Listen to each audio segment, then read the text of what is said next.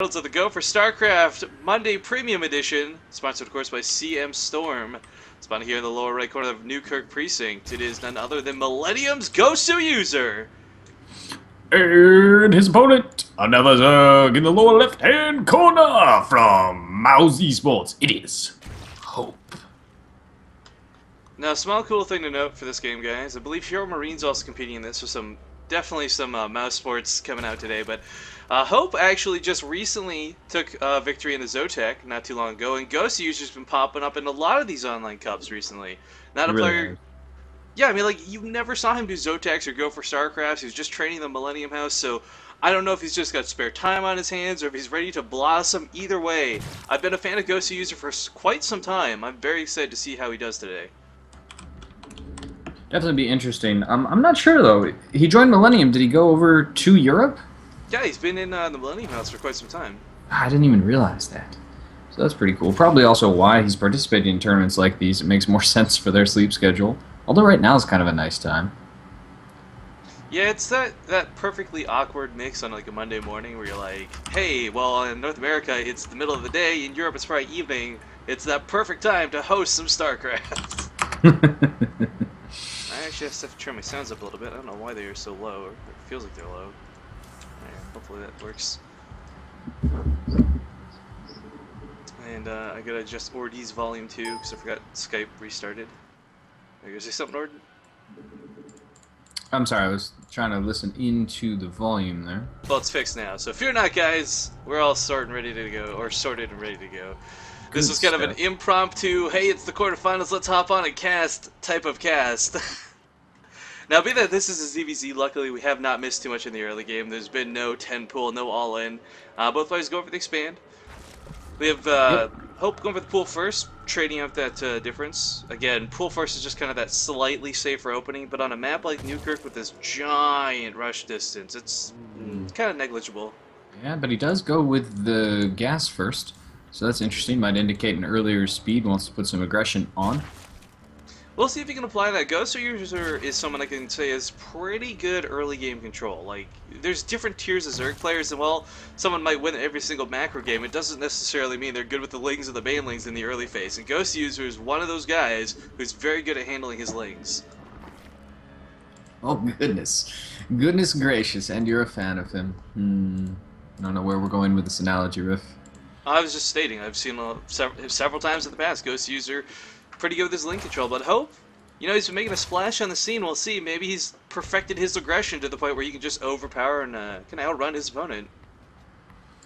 Definitely interesting, especially in a best of three. I'm surprised. I'm always surprised in a best of three mirror matchup where neither player goes with some kind of cheese the first game because it's a perfect way to open up. Really, get to still test the mettle of your opponent while also potentially gambling your way into a lead. Uh, then again, it's kind of nice not to have to come back to force yourself into that kind of a situation. Uh, right now, though, we do see essentially even drone count, the main difference being two Zerglings are out on the field for Hope. Oh, and a Baneling nest as well is followed up here, so that speed uh, looks like an in-game difference of about 45 seconds. So there will be an opportunity potentially for Hope to get some harassing done. He's got these two Zerglings that are walking up the ramp here, do scout the fact that the hatchery is down, see the queen, decide they really shouldn't risk it, and that's a good choice. It's really difficult to gain an advantage off of the speed when there's only this small of a time difference, and a large part of that's due to the map rush. If Hope already had, say, 15 lings sitting outside Goswser's base ready to run in, maybe you could try and do something with that, but the reality is, there'll be banelings on the field, as long as both players are paying attention, I don't think either's going to suffer losses or really gain too much of an advantage, but oh my goodness, I want to point out Goswser going for a pretty early third base here. Not exactly entirely risky because it's the closer in base, but it is a target here for Hope to try and take down. Definitely, and Hope's able to see it because he's got that Overlord in position, and Hope's even going for the early lair off of two bases. This is interesting to me. Uh, Goswser also getting that early-ish lair, but a little bit behind his opponent. Hope might try and make the transition into... Actually, without taking that extra gas yet, I'm going to hold the phone. I was going to suggest Yeah. maybe Mutalisk, because he's he's on purpose sacrificing his third base here. Like, some responses to this are, hey, I'll just throw down my own third base, I'm good to go. But Looks like Hope is absolutely going to try to punish this with a small handful of lings. And there's only four on the field right now for Goswsers. Actually, supply blocks at the particular second, so that's no good for him. Hope actually looked like he wanted to pull back there for a second. I was like, wait, that's only two lings. What?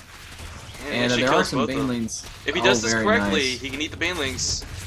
Oh, maybe, possibly. Queen gets involved. Ah, there is still one baneling left over. Oh, terrible trade there for Hope, actually, on the Yeah, second well- one. It's not exactly terrible. Two lings for, or sorry, six lings for two banelings. Not a terrible trade, but not a good trade by any means. But coming Now across the field have- with round yeah. two, man. There are a lot on the way, but really Goswser's going to be okay because he's got the Roach Warren uh, out already. He's got a Glial Reconstitution on the way and some roaches that he's producing. So even if Hope is able to somehow take down this hatchery, Goswser will stabilize. And here are the Banelings rolling on in. Yeah, both players coming in. Baneling up- on Baneling. Oh, that could have been big if Hope had detonated right there. He would have taken out all the banelings and the zerglings, but. Oh man, now the roaches are out. Can he get enough drone kills? Some nice spreading here out of Ghost Oh, User, but not nice. enough. How many? Six workers killed. The hatchery still stands though, and that's what's the really tough reality for Hope to re- uh, deal with. He's going for Spire. They do get one more drone. They surround on Queen and they get it, and then they get out. Very nice. Yeah, but Ord, we got that Spire coming out. The biggest scary thing about the Spire is the timing in which it comes out, because a lot of times the roaches will be in your base before you can pop Mutalisks out. Hope by being aggressive like this, while he's not causing game-ending damage or true economic damage, he's keeping Ghost of User at home, and another Queen goes down in the Another natural. Queen. Oh, he's gonna have no anti-air defense whatsoever. This is quite rough. Queen in the main might. I don't think. It sh- I don't think it'll go down, but it's going to be weak, and that's the problem. 50, 49, 50 life left on that only queen that's going to be on the field for the moment. More queens obviously in production. Spore crawlers are pretty quick to build, and roaches are pushing out, so Hope will probably have to keep his Mutalisk at home to defend, and yeah, makes that choice instantly right on top of the roaches that only really have a spine crawl in front of them. Now some Zerglings are getting involved, but roaches take forever to die against unupgraded Mutalisks. Yeah, not a whole lot of damage really being done here for either player. I mean, it's hard for Hope to clean these up. I mean, he will. They're getting low, but Goswser's going to snipe off a couple drones before he gets out of there. Trying And the big story there too is that back home six spore crawlers are going to finish up, and these mutalisks could have arrived before any of them were done, but now they don't get that opportunity. Instead, Hope is going to do what he can. He's going to pick off a couple of overextended overlords, and then he'll go in to start harassing. Level one flyer upgrade is on the way. It's over halfway done, and ooh, we have pathogen glands as the response for Goswser. Pretty good thing to use infestors with fungal against It's, it's really difficult to catch those Mutalisks, though. If you do catch them, it's kind of, hey, I, I almost win the game, but it's very difficult. Look at them clump up, Ord. I mean, just one fungal can just ruin everything.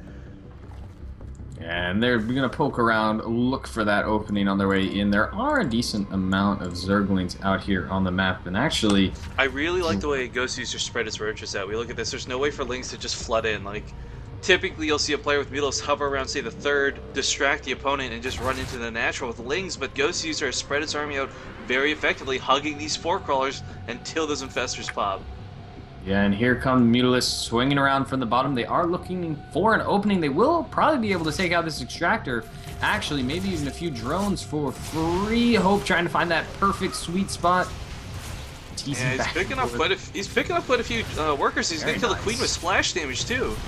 Oh, so nice there in the end. And Goswser needs that gas. He wants it. He wants to build infestors. He's only on the three bases right now. And Oh, the second gas. infestor. Can it get the fungal? Oh, Ah, just barely nice misses dodge it. by Hope. That projectile speed, man. Now the scary thing is, Goswser still has to worry. There's Ling sitting up here towards the north. They're not exactly going to come in and auto-win the game, but they are a huge threat to the mineral line. And now this queen being very bold. Goswser cannot afford to keep remaking the queens like this. Man, we have a split up now. Here come the Mutalisks around the Oh, side. Oh, no. and the Hydralisk Den. That would be He very cannot nice afford to lose this. There's nothing. There's one queen to protect it. Can he transfuse? No energy. Oh, that is rough. Infestors arrived just a moment too late. Hope with some fantastic control so far. Uh, Goswser immediately laying down that next Hydralisk Den. Oh my he did God. have seven queued up. Or look how many roaches are on the field here for Hope. He's got just about as many as Goswser does. 29 to 31. This is not going to be good. He's getting infestors picked off by these Mutalisks. So harassed and so good is the control here coming out of Hope. Oh, man, if any of those fungals do land, just like you were saying, Riff, it's bad news for Hope. But as long as he can continue to dodge that, it's not really a big deal. And there may be enough Roach Bane to just push through without the Mutalisks even being involved at this point. Bad news bears indeed, Ord. now, actually, I really like the choice to incorporate Banelings with this. The Hydras are going to be very difficult to deal with, but the Banelings can just roll in and get those connects, Ord. Oh man. It really can. Goswser making kind of a bold choice right now. He's gonna try and go up and set up a fourth base, but Hope's all over that. He's gonna find it, and at the same time, the Goswser moves his army up. Hope moves his army down. Hope is gonna catch a lot of roaches here. A good fungal keeps him from getting into the mineral line. But he's got to be careful with the stack on the side. Hydralisk. Oh. Nice fungal on top of the Banelings. That's huge. He needs one more on him. Yes, he gets it and that may be enough for Goswser to survive oh, this. the Banelings are still rolling in. Oh, oh, oh, some of them do end up blowing and up. There's a few more coming in from behind. Goswser does have defender's advantage right now. He's got 19 roaches, 21, 22 be enough. about to pop. The Mutalisks are still here picking up the Hydros in the back. Goswser's got some very low health ones remaining. A couple of infested Terrans coming out. It's a little pitiful, that's all he can do for the time being. He's got wait for these Roach reinforcements.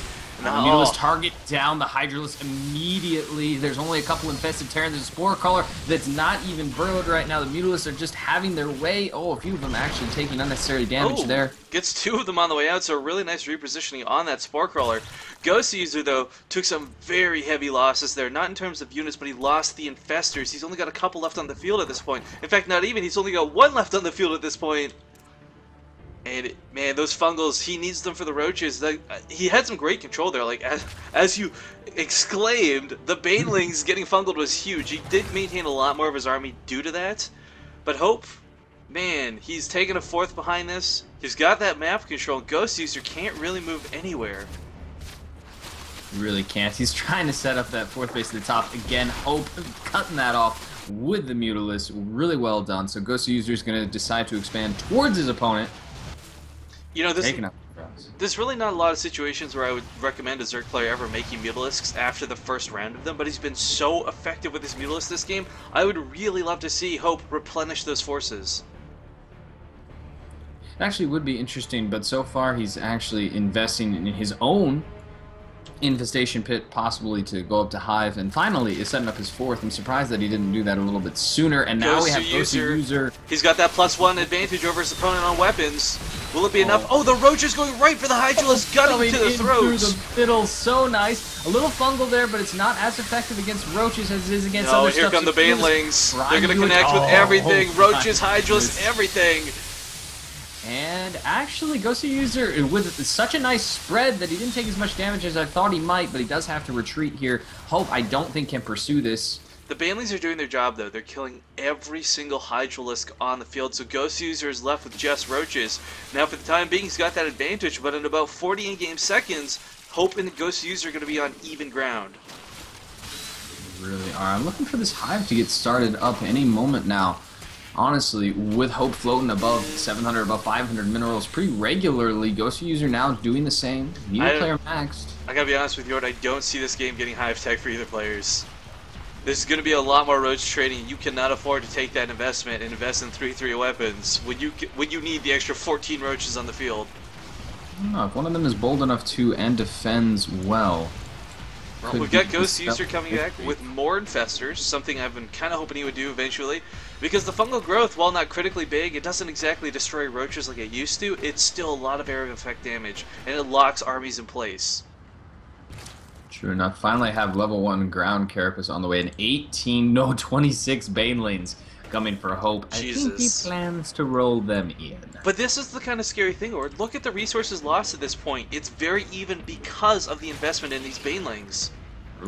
If if Hope, like I'm not saying they're bad or a waste, but if Hope was using units other than Banelings, like let's say he had his own Hydros or his own more Roaches, his resources lost would look a lot better than it currently does. But coming in from Oh, all here sides, We go. Hope swinging in from everywhere. Oh, nice fungal. Trying to get laid down. Decent fungal. Actually, a lot of the Banelings not able to get past their own roaches, and that's That on the wall left-hand of side. Hope roaches. does manage it, and oh man, it's actually really hard to tell because the reinforcements coming up from Goswser from behind. Hope it's looking really good for Goswser Oh here. yeah, it is now. It is. Uh, That wall else. of roaches on like hold position at this left ramp was so good. The Banelings were trying to connect to those Hydras and they were forced to go all the way around. Goswser with some very superior positioning decisively won that fight. But I do want to point out he's going to be behind on upgrades the next time they engage as uh, Hope will have plus one armor.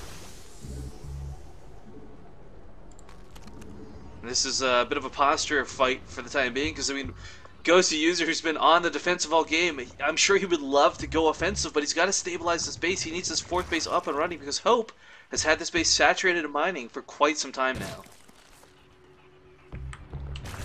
Some random Banelings detonating there for Hope on his own units. He's actually going to go with his own Hydralisk Den as well. Yeah, it's about time he started to build this in. I mean, the Banelings were a great choice when the Mutalisks were still on the field because the Hydras have to kind of choose: do I move from the Banelings or do I shoot the Mutalisks? But without the Mutalisks on the field as the threat, these Hydras have no fear of those Banelings. They can just run the hell away.